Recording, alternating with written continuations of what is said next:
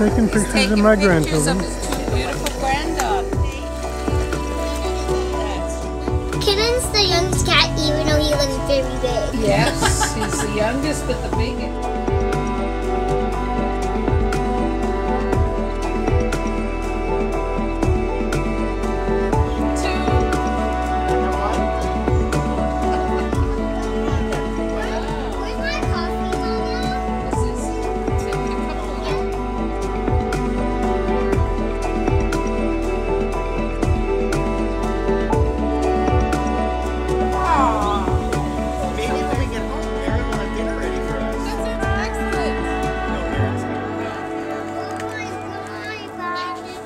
don't need to worry tonight at 11.